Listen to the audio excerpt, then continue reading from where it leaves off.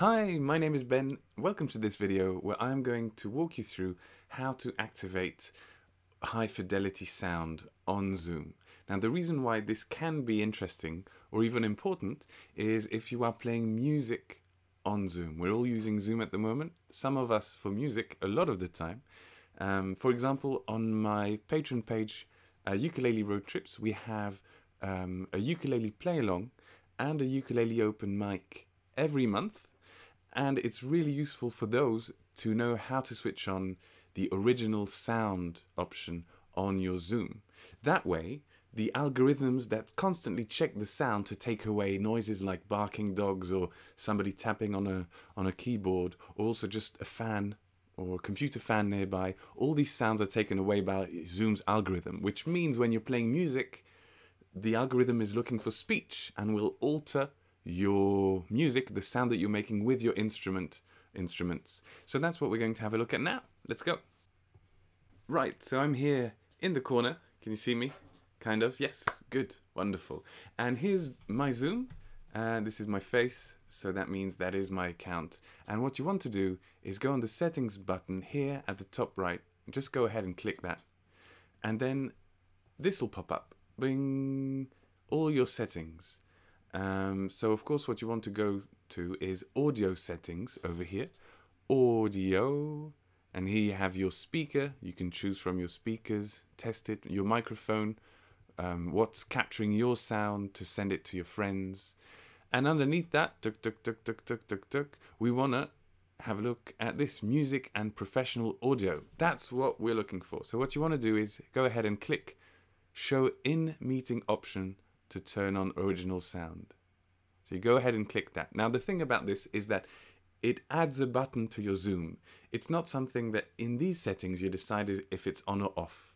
You're deciding to view that extra button and then in Zoom, as we'll see, you'll be able to choose if that option is on or not. Now these are the three options um, that you can add when original sound is enabled. You can disable the echo cancellation, meaning um, this is part of the algorithm and it will alter the sound. So if you're sure about your setup, then you want to go ahead and disable echo cancellation if you've got good headphones and you're sure that no audio from the Zoom will make it to your microphone, you can click on that.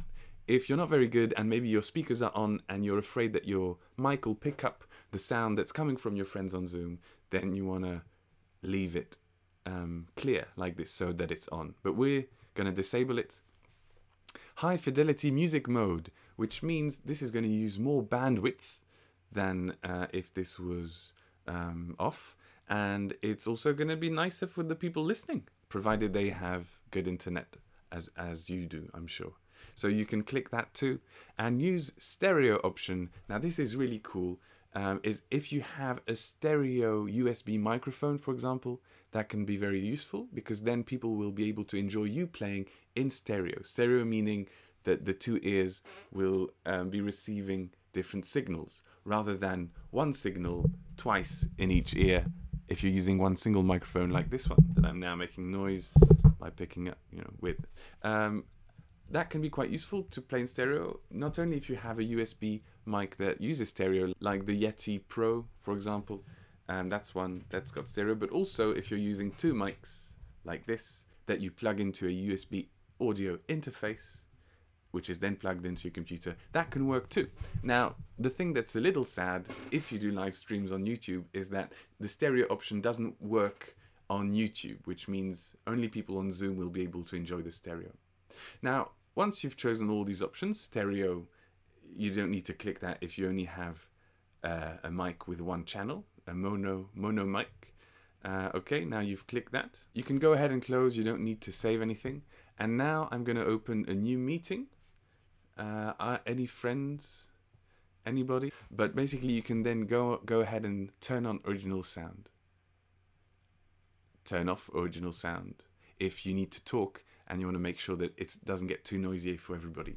What you don't want to do is turn uh, turn on the original sound and leave it turned on if you're saying nothing and you're not on mute. You think, well, it's not too noisy here. But what's actually going to happen is that every little noise that's around you, if you've got a good microphone, is going to get picked up. So the fan of the computer, very light background noise, everything is going to be sent to your friends. So you, you might want to make sure that if you're just chatting, you turn that off. Okay, so I'm going to leave this square at the bottom here. And I'm now going to go on Zoom to show you the difference between the two settings. Okay, so here we are. Uh, the, it's recording, obviously, because that way I get to add it to the video here. Um, here you can see the original sound is not turned on. So this is the sound that is controlled by the algorithm looking for speech and trying to take out any back background noises. Um, let me play a little bit for you, see how that sounds.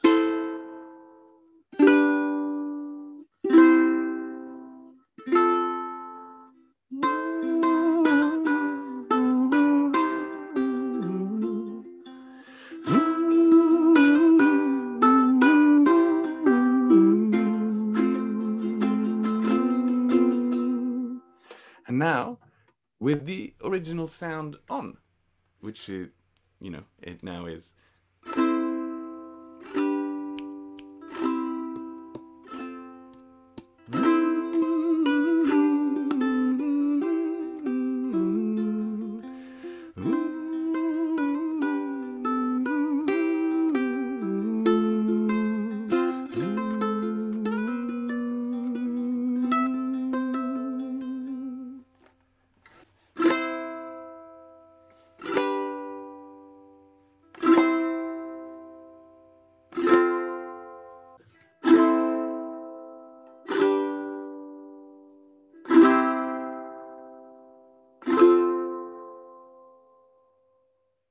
So there you go. If you're leading a song in the ukulele play along, singing at the open mic, or doing anything with music that you want to share with your friends on Zoom, um, make sure you activate this really cool function. What a great, great program um, Zoom is to help us in these times and in this very different year and a half we've uh, we've been playing music through. Hopefully, yeah. Okay, thanks for watching. See you soon. Bye bye.